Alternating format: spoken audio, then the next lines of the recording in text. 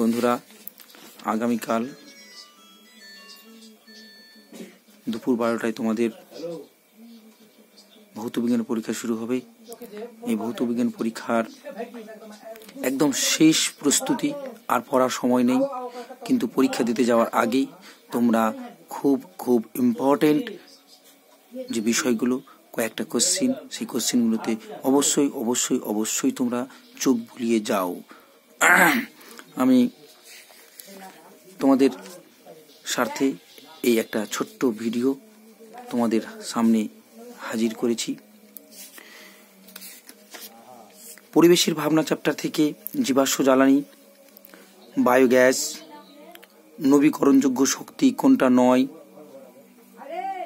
বেতার তরঙ্গ কোন স্তরে প্রতিফলিত হয়, মেরু যদি কোথায় দেখা যায়, ওজন স্তর তাপন মূল্য, ওজন স্তর ধ্বংসে সিএফসির ভূমিকা, গ্রিনহাউস গ্যাস, স্থিতিশীল উন্নয়ন।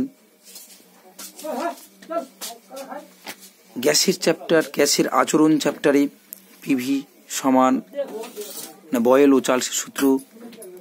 বয়েল ও চার্লসের সূত্রের ধ্রুবক। বয়েল ও চার্লসের সমন্বয়িত সূত্র। পিভি সমান আরটি সমীকরণ প্রতিষ্ঠা বা আদর্শ গ্যাস সমীকরণ প্রতিষ্ঠা। পরম শূন্যের ধারণা। পরম শূন্য শূন্যতা কি? পরম স্কেল কি? পরম উষ্ণতা কাকে বলে? পরম স্কেল এবং সেলসিয়াস স্কেলের মধ্যে সম্পর্ক কি?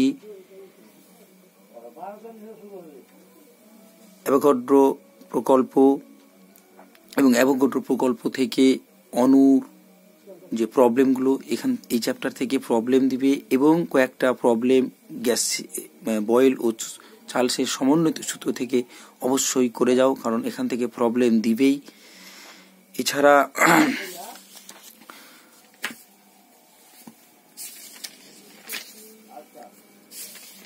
গ্যাসের রাসায়নিক গণনা চ্যাপ্টার থেকে বাষ্প ঘনত্ব, আণবিক গুরুত্ব এবং আণব আয়তন এগুলোর কয়েকটা অঙ্ক প্রবলেম করতে হবে। এছাড়া তাপ চ্যাপ্টার থেকে ক্ষেত্র প্রসারণ গুণাঙ্ক, গ্যাসের আয়তন প্রসারণ গুণাঙ্ক, দৈর্ঘ্য প্রসারণ গুণাঙ্ক, তাপ পরিবাহিতা, লোহার দৈর্ঘ্য প্রসারণ গুণাঙ্ক, বারো দশমিক ten to the power minus six per degree C বলতে কি বুঝো? আপাত ও প্রকৃত প্রসারণ গুণাঙ্কের মধ্যে কোনটি তরলের নিজস্ব বৈশিষ্ট্য?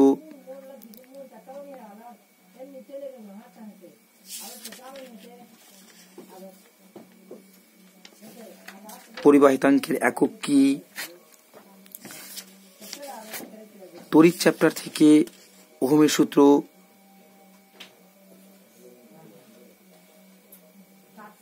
অ্যাম্পিয়ারের সন্তরণ নিয়ম। রোধাঙ্কের ঈশা একক রোধাঙ্ক কি তড়িৎ ক্ষমতার একক, বিওটি কি ফ্লেমিং এর বামহস্ত নিয়ম, ফিউজ তার কি, তুল্য রোধ কি, সমান্তরাল সমবায় এবং শ্রেণি সময়ের তুল্য রোধ তুল্য রোধ থেকে প্রবলেম ফিউজ তার কি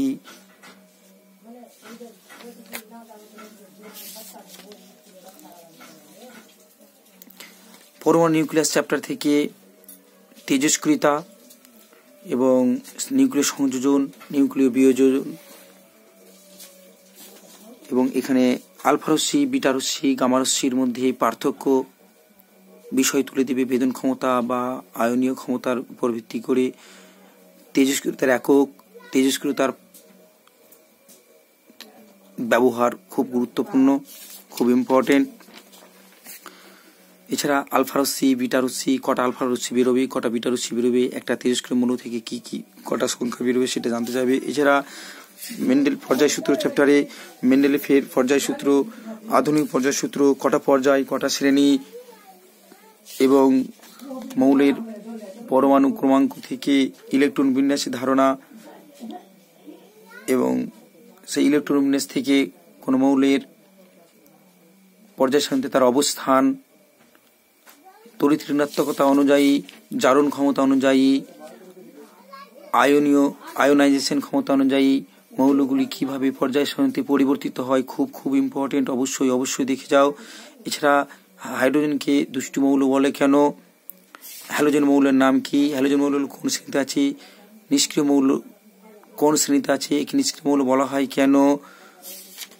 সন্দেহিত মৌল কি? সন্দেহিত মৌল কোন শ্রেণীতে আছে? ঋণাত্মকতা বলতে কি বুঝো?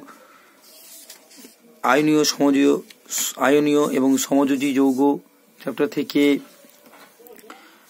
লুইস ডট গঠন অবশ্যই অবশ্যই করবে।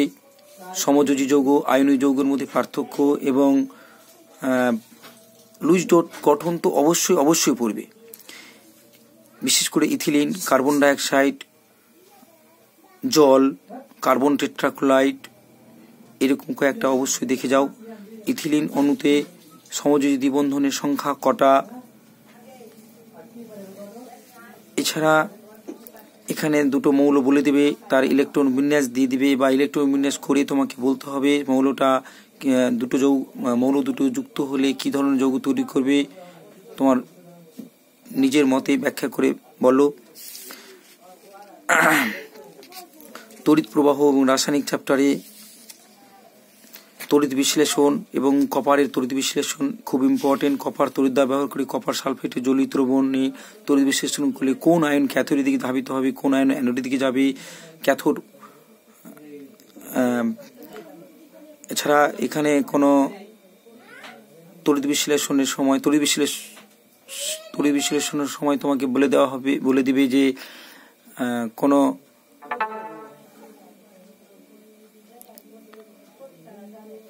বিশ্লেষ হিসেবে কোন পদার্থ ব্যবহার করবে ক্যাথোডিক কোন, কে কোন পদার্থটিকে নিবে, অ্যানোডে কোন পদার্থটিকে নিবে, খুব জিজ্ঞাসা।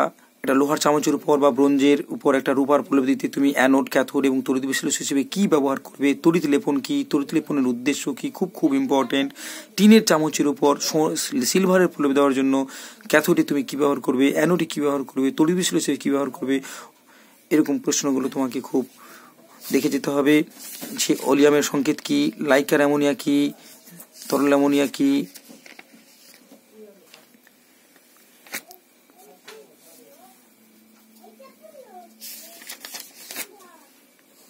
আকরিক চ্যাপ্টারে খনিজ এবং আকরিকের মধ্যে পার্থক্য, বিভিন্ন রকমের আকরিকগুলোর নাম খুব খুব ইম্পর্টেন্ট আকরিকগুলো দেবে এবং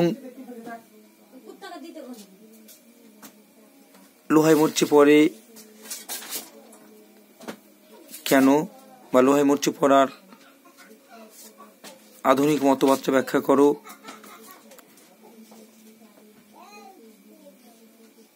জৈব রসায়নে খুব খুব ইম্পর্টেন্ট হচ্ছে তোমার ইউপ্যাক নামকরণ। এছাড়া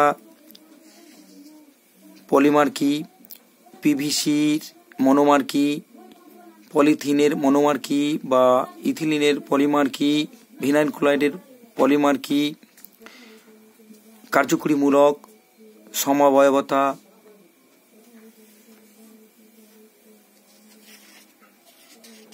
এছাড়া ইথাইল অ্যালকোহল থেকে কীভাবে